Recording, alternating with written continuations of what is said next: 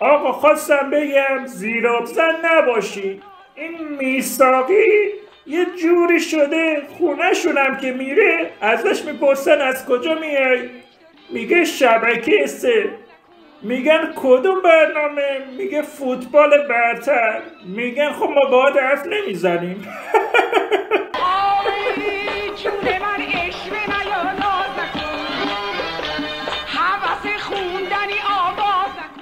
Ayrton Chef!